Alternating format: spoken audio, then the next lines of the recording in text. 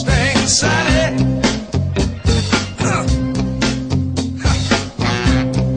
Guess you better slow your